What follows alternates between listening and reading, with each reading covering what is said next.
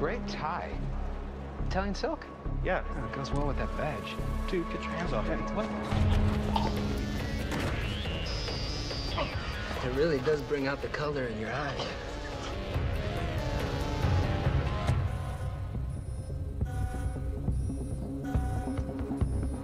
Who are you?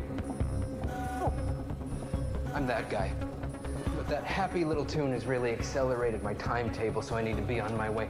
Just need a few ones and zeros off your PC. You have a gun in your lab. What kind of a scientist are you?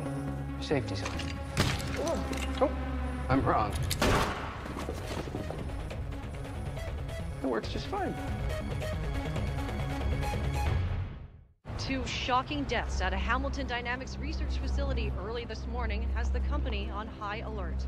A spokesperson for Hamilton assures the public that no firearms were compromised. Hey, here's the security footage from the lab.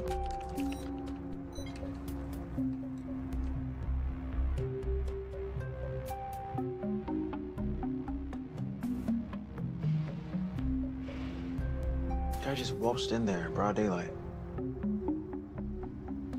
Any idea what he took from the computer? Hamilton's keeping quiet about it.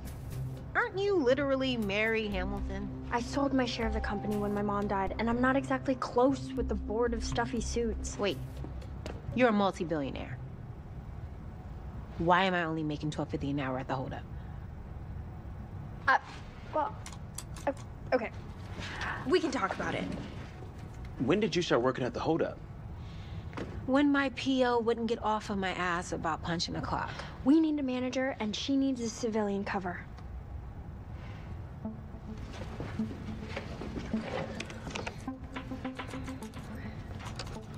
Got him.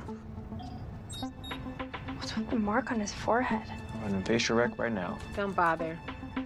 It's Victor Zsasz. He's a hitman. He logs his kills with hash marks. How are you on a first name basis with a prolific hired assassin? Because I know people who know him. But we kind of run in the same circles. You run in this. Ran in the same circles, past tense, and very large, wide circles, which is now just come in handy because now we know who we're looking for.